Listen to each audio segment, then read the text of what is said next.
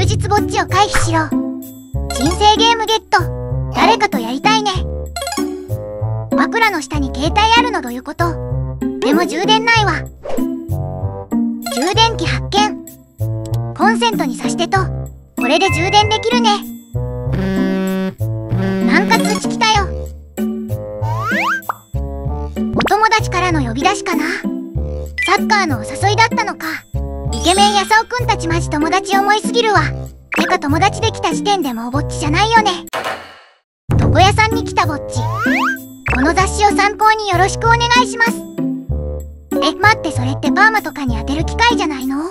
どんな髪型になってるんだろう？マジか。今時アフロヘアの人あんまおらんぞ。友達も寄ってこない。悲しい現実。次は違う雑誌を参考にしてもらおう。バリカンは安定じゃない？されるのかな？嘘やん。イケイケヘアやん。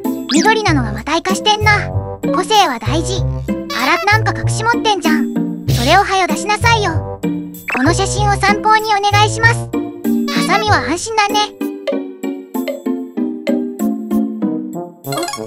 いいじゃんいいじゃん。天使の輪までできてるよ。友達も寄ってきてくれたね。ぼっちヘアかわいい。鬼ごっこを始めたぼっちたち。ぼっちはどこ行くのかな？後ろの銅像倒れたぞ。ここに立って銅像になりきってみるか。よしよしスルーされた。え置いてけぼりじゃ。んどんだけなりきり上手な？次はどうする？待て待て待てそこに入るつもり？またスルー案件や。んほらね。学習せいこの絵面はおもろいが。